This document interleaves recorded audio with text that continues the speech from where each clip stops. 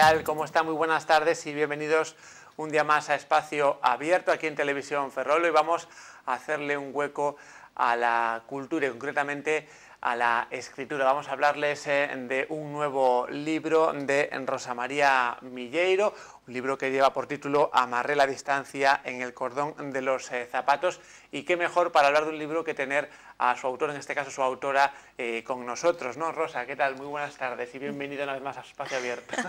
buenas tardes a la casa. Bueno, tengo que rectificarte porque ahí la Junta eh, se, se, equivocó ah. y es amarré la distancia en el cordón de mis zapatos. No puedo generalizar los zapatos de los demás porque cada uno tiene sus pasos propios. y yo, y yo hablo de los míos o sea, de mis zapatos. Eh, pues no, es, el primer libro ¿no? del que hablamos eh, tuyo aquí, Rosa, en Espacio Bueno, en la, eh, ya es el cuarto libro que edito y el segundo en la Casa de Galicia, en Madrid. bueno, y espero que sean muchos más porque ya tengo en proyecto otro que tienen que pasar por la, por la revisión de mi, de mi editor y espero que me lo acepte. Hablabas ahora de la Casa de Galicia, donde estuviste recientemente. Bueno, siempre está bien que Galicia esté presente en muchas zonas del país, ¿no? y en este caso a través de trabajos como el tuyo. ¿no? Bueno, mm, la cultura debe de estar en todos los sitios y la gallega también, porque es un punto de referencia de este país. En la Casa de Galicia de, Madrid es preciosa, siempre lo digo, eh, mis experiencias es la segunda visita, mm. pero siempre estoy muy acogida, muy acogida por el coordinador, por Ramón, y también colega en poemas. Y, bueno, este año estuve también eh, muy arropada por Julia León, la, la cantante sefardí, y mm, estuve, de hecho, que me hizo el prólogo, estuve con Rosalía, la que me hizo la, la,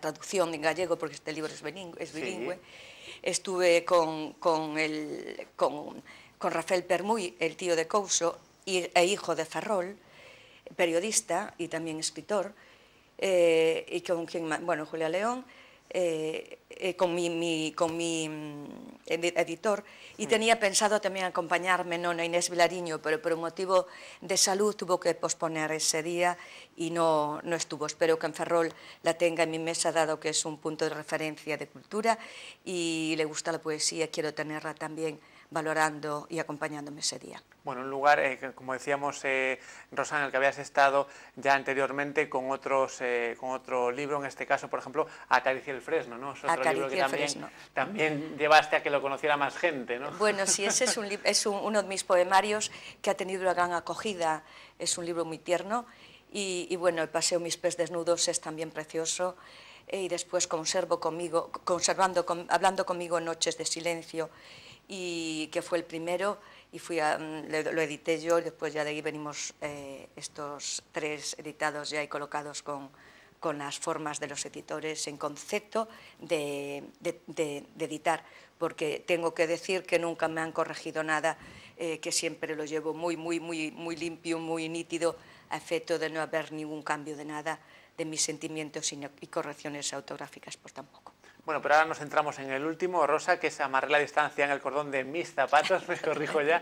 Y bueno, coméntanos un poco en líneas generales qué es lo que quieres transmitir con este último libro. Bueno, yo considero, ves que para mí los pies, las manos, la vida en sí, tienen unos puntos muy sordos de referencia a título ya de mis, de mis mm, obras ¿no? Poemáticas. Em, ¿Qué quiero decir con este libro? Es que, cada vez que, damos un paso, nos queda algo recorrido, en ese recorrido hemos tenido un aprendizaje.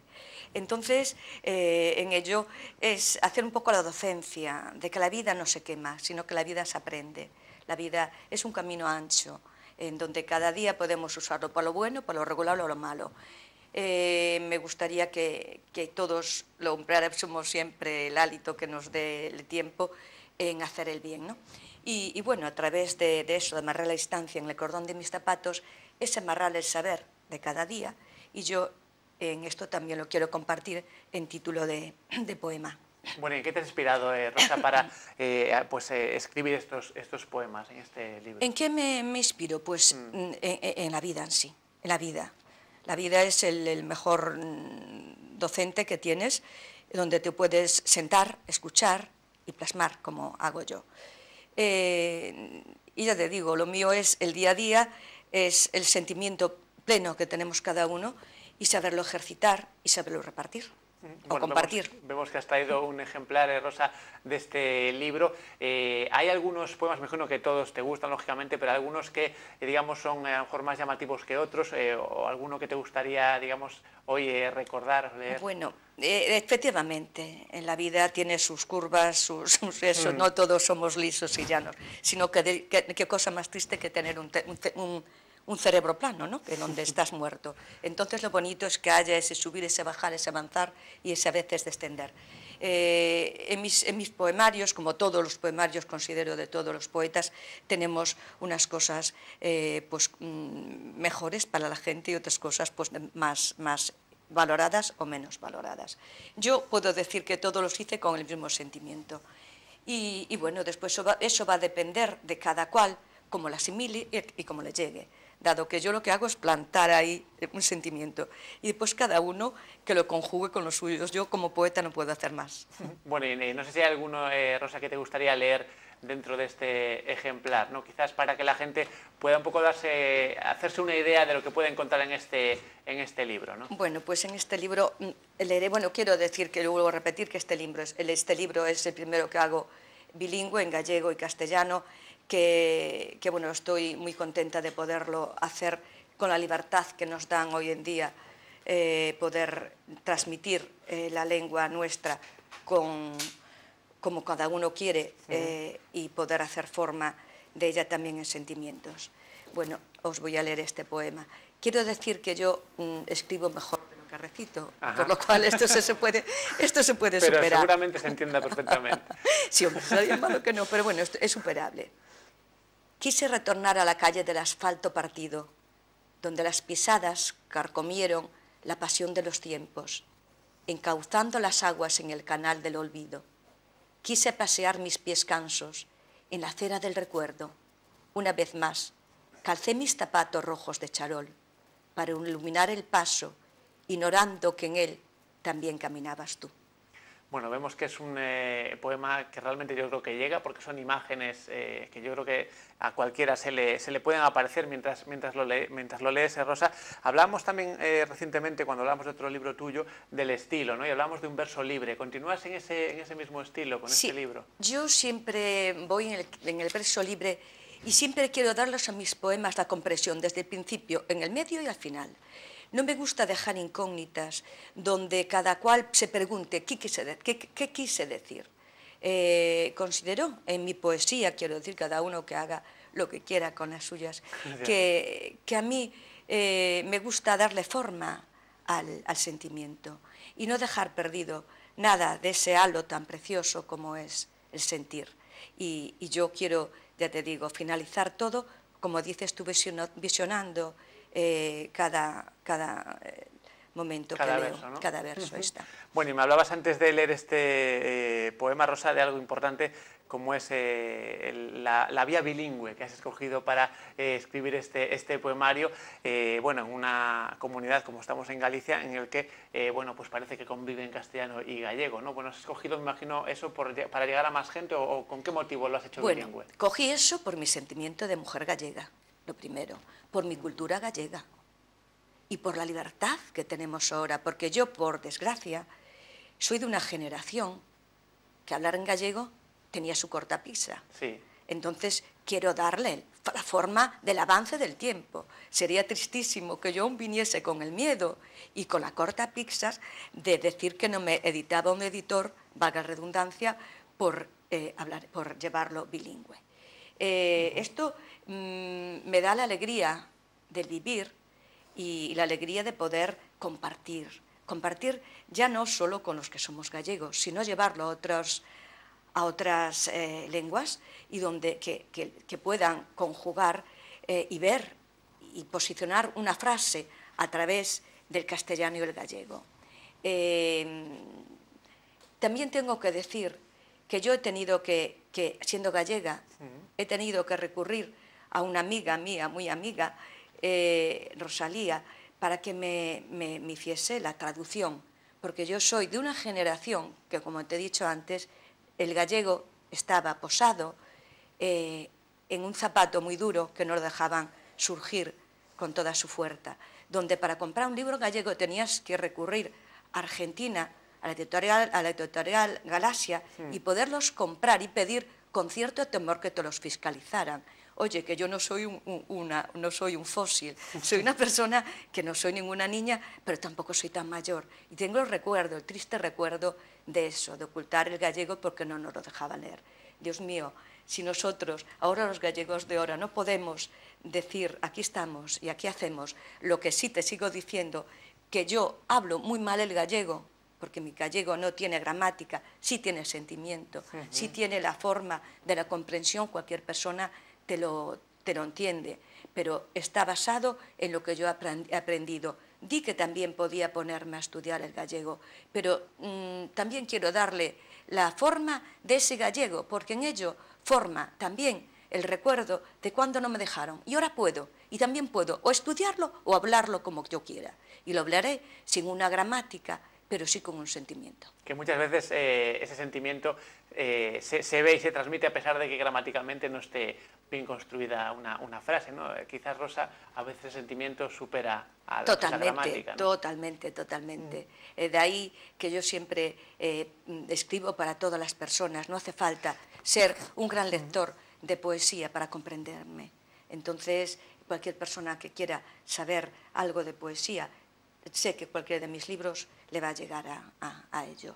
Bueno, eh, hay una parte, Rosa, perdona que te interrumpa, de, cualquier libro que es el público. Yo no sé si piensas en el público cuando tú escribes un, libro, en el tipo de público. Mira, yo no pienso mm, nada más que en el sentimiento.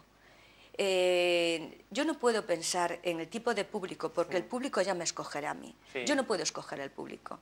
Entonces, eh, eso sería como hacer el tejado antes que, que los cimientos. ¿no? Eh, yo lo que tengo que hacer es poner mi sentimiento. Y después, una vez que me conozcan, una vez que sepan más o menos cómo soy, porque en Ferrol me conocen, eh, y, que vamos, que tengan la, la, esta de saber cómo yo mm, posiciono sentimientos escritos, que sabe que son los mismos que los sentidos, porque sería un fraude que yo posicionase un sentimiento en mi poesía y obrase de otra manera. Eso va en, en consonancia eh, y no puede cambiar. Si no, es la manera de que no llegue a nadie, Fernando. Y yo ya digo, yo mi público no lo, lo busco. Eh, yo, hombre, sí me encantaría que sea leída y que sea aceptada y que sea gustada, pero cuando hago una obra la hago totalmente metida en mí. Y después cada uno, ya digo, que me busque porque eh, yo no puedo seleccionar a ningún público el público me tiene que seleccionar a mí. Bueno, y un público además al que estás llegando, Rosa, por ejemplo, al de Madrid ya has llegado, desplazándote a la, capital, y aquí en Ferrol eh, me imagino que podemos adquirir este libro en cualquier eh, librería, ¿no? Bueno, no, este, este libro, mm, por supuesto, está si se pide, eh, que está a la venta ya, porque desde que lo presenté en Madrid tiene ya el privilegio de ser comprado. Sí. Pero yo mm, mm, presentaré en Ferrol, en Sargadelos, eh, próximamente, digo, a últimos de mes o a primeros de, mes. Eh, mm, y entonces, pues ese día espero tener a muchas personas que me acompañen de mi Ferrol y esta radio y estar con ellos directamente y sí recitando y sí opinando. Bueno, por lo tanto tendremos que esperar ese evento, eh, digamos, a uno, parecido al de Madrid, pero aquí en, la ciudad de Ferrol, ¿no? Bueno, yo también eso de hacer esas comparaciones es, mm, pues también no avanzar. Hay que vivir el momento. Y el momento de Madrid fue el momento de Madrid. El momento de Ferrol será el momento de Ferrol. Eh, el momento de, Madrid es precioso, la acogida es muy bonita, como te dije, pero bueno, yo sé que en Ferrol también va a ser precioso y me voy a encontrar muy bien porque estoy en mi casa, Fernando. Pues este es el cuarto libro tuyo, Rosa, como decíamos, Amarre la distancia en el cordón de mis zapatos. ¿Estás pensando ya en uno sí, ya tengo. un futuro? ¿Estás trabajando en algún libro Ya lo tengo, ya lo tengo preparado, solo me falta mm, posicionar lo que es el título eh, y, ya lo tengo y después pasarlo a, mi editor y que el editor le dé el visto bueno, que me diga que no. Hasta ahora he tenido gran suerte, es una persona, eh, mi, editor Basilio es una persona muy seria, una persona muy preparada y, bueno, además que, con grandes mm, siempre miras de, de, extender esto por el extranjero y donde me encanta que esté en otros países disfrutando de mis, de mis obras, Fernando. ¿En qué otros países, eh, Rosa, podríamos, podremos también encontrar un libro como Pues bueno, este? desde en cualquier sitio, en cualquier sitio que país, en país hay la, la, la, consonancia de pedirlo y, tenerlo. Pero bueno, en Hispanoamérica, desde Colombia, México y después pues en Estados Unidos, en, en Londres, donde tú quieras, mis libros están. Bueno, pues eso está bien, también saber que se puede llevar la, la cultura hoy en día a cualquier eh, otro eh, país. Hablábamos de ese próximo libro, Rosa. ¿Algunas pinceladas, algunas generalidades nos podrías avanzar ya de ese quinto, el que sería ya tu quinto bueno, como darte... No te puedo dar mucho una porque, porque mm. aún estoy esperando el título. Y además los títulos no los suelo dar hasta que ya me los pasé porque iba la, la, la la editorial, no me diga adelante o no adelante. Lo que sí que te puedo decir que es un libro lleno de sentimientos, que es un poemario hecho como todos los que hago más o menos, eh, que nunca mm, se van a, cambiar los sentimientos porque son míos entonces no sería yo la que estoy escribiendo. Todos más o menos van por esa línea, Fernando. Bueno, pues nos quedamos de momento con este último libro tuyo, Rosa, Amarré la distancia en el cordón de mis zapatos, que como decíamos ahora se presentará en la Galería Salgaderos próximamente y te agradecemos que hayas estado aquí con nosotros esta tarde, Rosa. Gracias. Bueno, yo lo que quiero decir es que, notificaré y diré por medios... Eh, que se tienen como es esta casa, que es la mía, también, eh, y otros medios de, prensa escrita, el día de esa, de, esa presentación a efecto de tener mucho quórum conmigo. Pues seguramente que lo haya. Gracias, Rosa Gracias, amigo Fernando, un cariño. Y a ustedes, gracias también por estar ahí. Ya saben que pueden ver este y otros programas en nuestro canal de televisión a la carta de YouTube. Nos pueden seguir por Facebook y en directo en nuestra página web tvferrol.es. Buenas tardes, hasta luego.